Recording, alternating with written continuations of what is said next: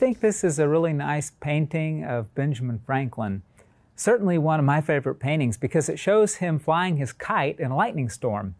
And I like the painting because it has three angels behind him.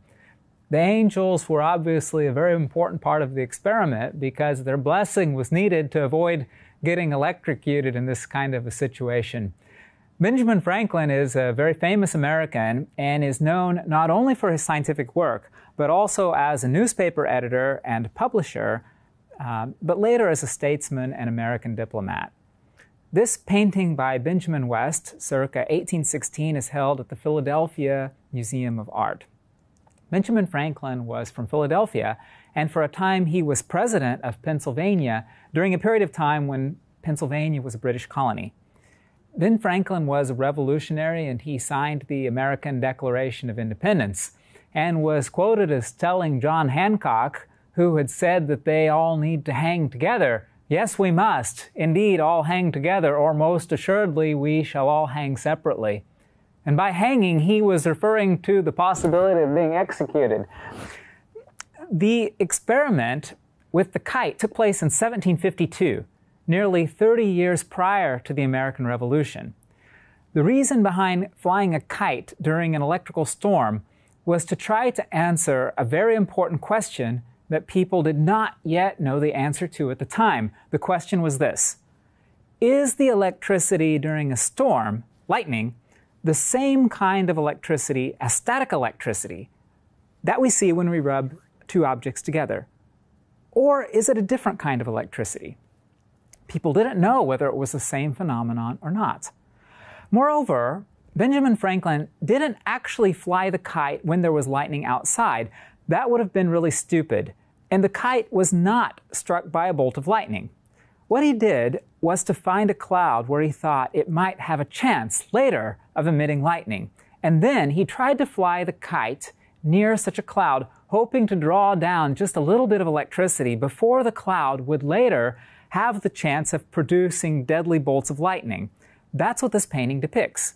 Before the cloud had a chance to charge up a great deal, he held his knuckle up near a metal key attached to the string and was able to get a little bit of a spark from it. Then he was able to compare how the spark from the key felt against his knuckle and how he felt when he touched some kind of friction machine and experienced a shock of static electricity that everyone already would have been familiar with at the time. Naturally, the sparking phenomenon was very similar, and it was thus confirmed, in fact, that these two kinds of electricity felt the same, an important discovery at the time. Benjamin Franklin wrote a letter to the Royal Society in Britain, published October 1st, 1752. When the rain has wet the kite twine so that it can conduct the electric fire freely, you will find it streams out plentifully from the key at the approach of your knuckle, which is exactly the situation pic- uh, captured in the painting. I encourage you to pause the video and read the text of the Franklin letter in his own words. Naturally, the discovery made news around the world, and many other researchers tried to replicate Benjamin Franklin's result. Now, he was a very smart man. He didn't stand on the ground while he did the kite experiment. And although he mention, mentions in the letter that whoever holds the kite string must be standing indoors, readers may not have appreciated that being electrically insulated from the ground was very important. Unfortunately, some experimenters were killed trying to replicate the experiment, like George Wilhelm Richmann in St. Petersburg, August 1753, who unfortunately was electrocuted. It may seem strange to talk about lightning when we're on a path to explain semiconductors, but lightning is a very good example of a case where something that's a very good insulator, air, can become a very good conductor of electricity in the case of a bolt of lightning. Later, we will see that the ability of some materials to change from insulator to conductor in a controlled way rather than a spectacular and dangerous way is one of the keys to understanding semiconductors. So to understand these materials, let's now discuss how air, an insulator, can become a bolt of lightning, which is a conductor. I'd like you to imagine for a moment a slightly simpler atmosphere. Imagine that our atmosphere were made up of hydrogen gas rather than the more complicated mixture that we have in reality. It's a nice model because we only have one proton and one electron in each atom. Let's also forget for the moment that hydrogen normally forms the diatomic molecule H2. Let's just pretend that we have only atomic hydrogen present. It's not conductive. Each atom is electrically neutral, not ionized, and it's transparent to visible light. How could a lightning bolt be generated? Imagine the following. I've got a battery hooked up between two electrodes, and I've decided to put a very high voltage on that battery. One electrode is positive, and the other electrode is negative. Now, as that electron is in orbit around its atomic nucleus, you can start to imagine that the orbit will be distorted a little bit because when the electron is on the right side, it's repelled a bit by that negative electrode. However, when the electron is on the opposite side of its orbit, it's attracted a little bit towards that positive plate, isn't it? If the voltage is high enough, the electron can even be stripped out of its orbit completely. The energy needed to do that is called the ionization potential, and this depends on two things. First, it depends on the voltage difference between the plate. And secondly, the distance between them. In other words, it depends on the electric field strength. And I've got electric field defined in an equation for you, along with the units in square brackets that we might typically use. So throughout this lecture series, when I give equations, I typically give the units too, because it's easier to keep track of everything. So this cartoon here depicts what would happen if that one hydrogen atom becomes ionized enough through the process just described. And I think you can immediately see now that we might get a little bit of electrical conductivity because we previously had a single neutral atom Neutral atoms are not attracted to positive or negatively charged electrodes. But now that the atom is ionized, we have an isolated proton. It's charged. It's going to start moving to the right. We've got an electron. It's charged.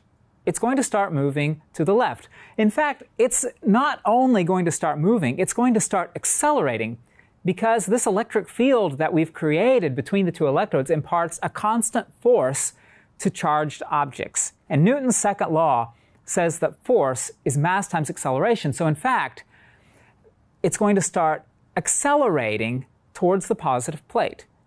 The electrons will end up going much faster than the protons because they're less massive. This electron that just got stripped away from its atom, it's going to start moving faster and faster and faster.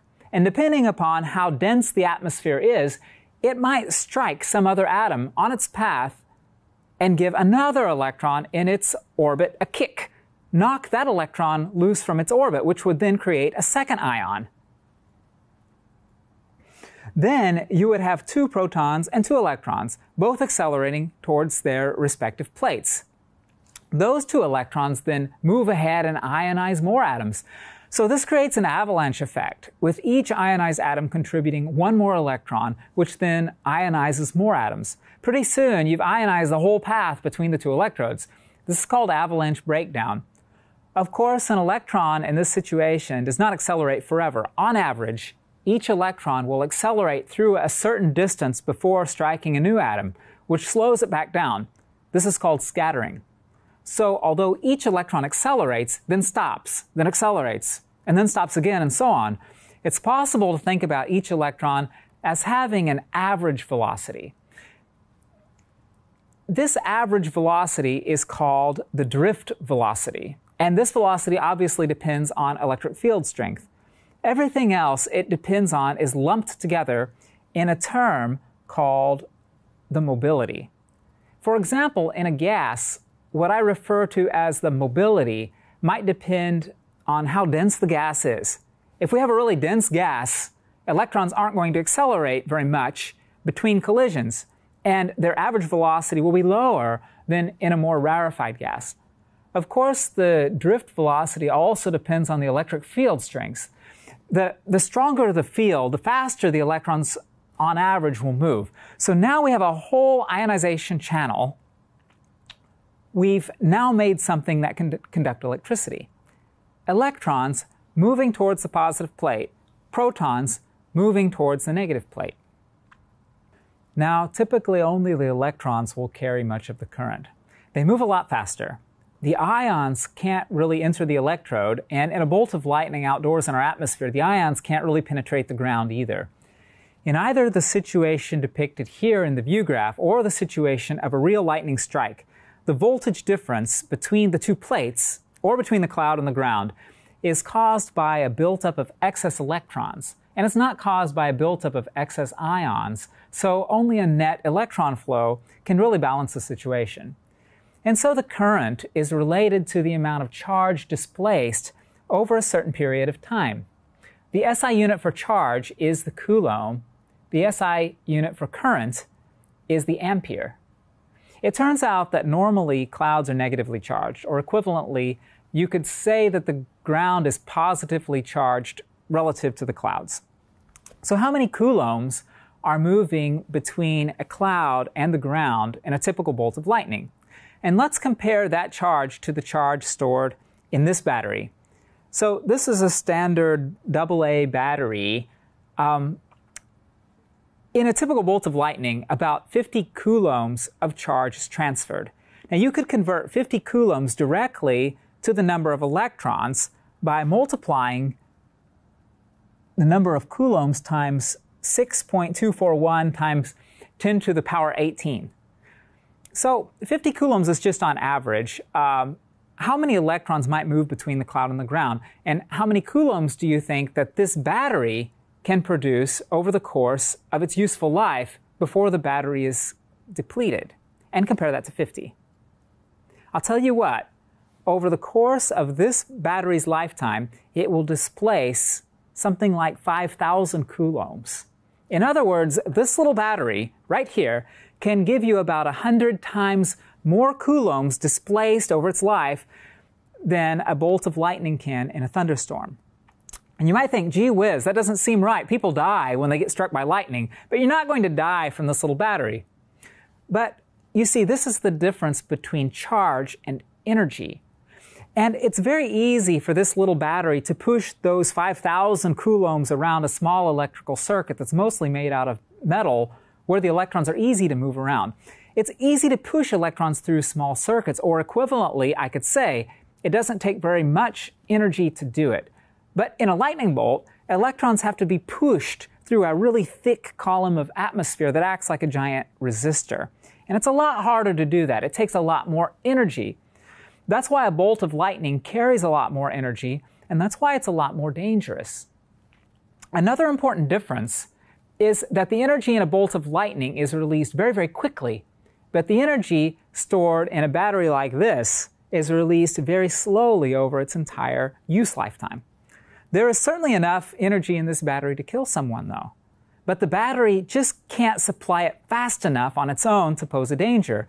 But there have been cases of people electrocuted with certain types of circuits which are designed to store energy from batteries like this and then release the energy quickly. An example of such a circuit is the flash charging circuit of a disposable film camera. These can be dangerous, which is why warnings are sometimes printed on the sides of the boxes. In the case of a lightning bolt, we've basically set up a conducting channel through an insulator. The situation here with the two electrodes wired to a battery is obviously rotated 90 degrees with respect to a cloud to ground lightning strike. The cloud is typically negative, having SS electrons prior to a lightning strike. Now let's consider the current that's flowing, and specifically the density of the current through the cross-sectional area of the lightning bolt. You know, a bolt of lightning might be as wide as a small tree. So if a tree has half a square meter of cross-sectional area, then that would be A in this equation. J, the current density, has typical units of amperes per square meter. So what all does the current density depend on? Well, it depends on the charge, which is just the charge of a single electron multiplied by the electron concentration, how many of them there are, as well as how fast the charge is moving. if there are more electrons passing through a certain cross section in any given period of time, there will be more current flowing. So you can think of current as measured in amperes as a measure of the number of electrons measured in coulombs passing through a loop surrounding the lightning bolt in any given second. Current density, then, is just a measurement of how concentrated the current is over a given surface area. Once the cloud has kind of dumped all of its electrons to the ground through that conducting channel, then you know that the lightning bolt will revert back to normal air very quickly. And when the lightning bolt has finished, obviously the free electrons are then going to be recaptured by the ions that were left behind. A bolt of lightning, when it's ionized, is not exactly a gas anymore. It's called a plasma. A plasma is a form of matter where electrons have been stripped away. A plasma is electrically conductive, of course, because you have all of these free electrons available that can carry the current. Now, ions can carry the current too, it's just that they don't move very fast because they're a lot heavier than the electrons. The electrons in a bolt of lightning are going to be recaptured by these atomic nuclei, and the electrons will spiral back into their original orbits. Let's consider the solar system again for a moment. If I wanted to get the Earth to leave the solar system to exit its orbit, I would need to give it some energy. Some alien with a big machine would have to come in and just push on the Earth and then it would move off. But something has to impart the extra kinetic energy to get any kind of an orbital change at all. But you know, the reverse is also true. If a fast moving object were to approach our solar system from outside, it would have to find a way to get rid of its kinetic, uh, to get rid of its excess kinetic energy. Otherwise, it wouldn't be sticking around for too long. It would just exit the solar system again. So when a free electron is recaptured by a proton floating around, the electron has to give up the extra energy that it has. And that, that energy is emitted as light. And that's why you see a flash of light when you see a bolt of lightning. And the column of air simultaneously gets very hot.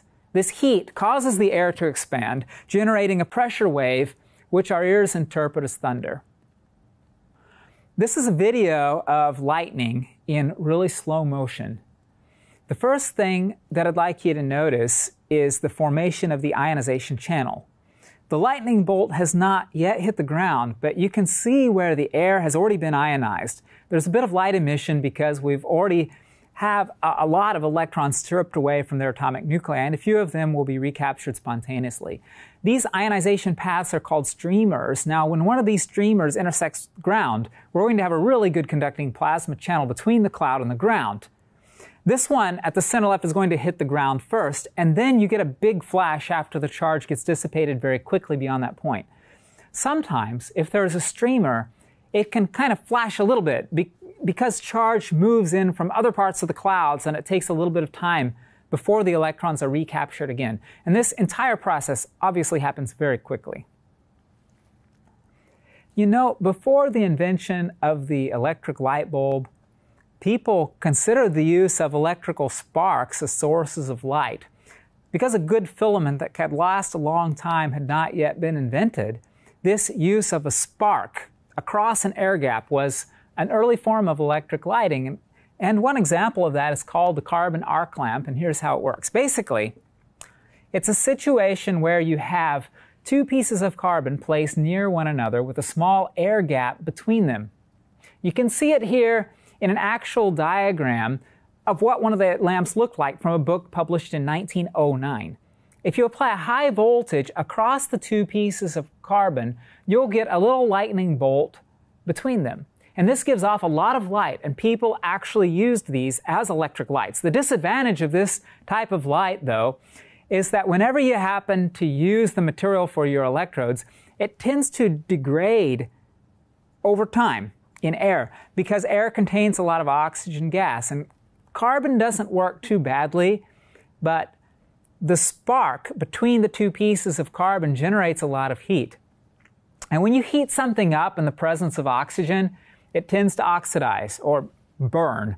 So the carbon is burning, and you can see that this little diagram showing these carbon electrodes there's a rather long end of the carbon rod here hanging off the tops and the bottoms of the light.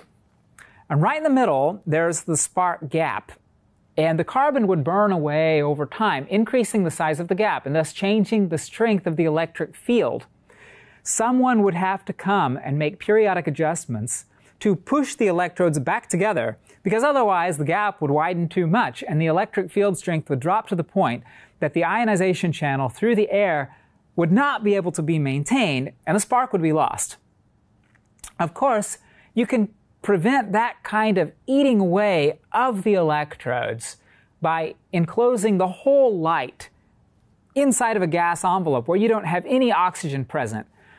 People knew that, and it was one of the motivations for experimenters in the 19th century to start working on glass light bulbs where the air can be removed. Of course, this ended up leading to modern tungsten light bulbs the invention of the vacuum tube and the world's first real computer using the vacuum tubes.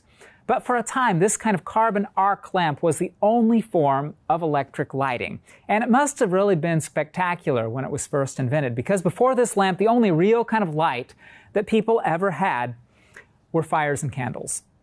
A carbon arc lamp can put out thousands of times more light than a candle. It could light a whole city square with a sun like intensity they must have been really hot, really brilliant. This type of lighting is not particularly efficient. First of all, some of the light emitted is in the ultraviolet part of the spectrum, which isn't really useful because we can't see it. And secondly, it generates heat in addition to light, which is wasteful in a light fixture. But the heat turns out to be useful in other applications. And if you've ever seen arc welding, you probably know that the heat can be intense enough to melt metal. And the light is so intense that welders need to wear eye protection. So these are really bright, but basically they're very simple spark making machines. In the next video, we'll consider in more detail the light that is emitted when you heat up materials, and we'll look at reasons why some materials emit different colors of light.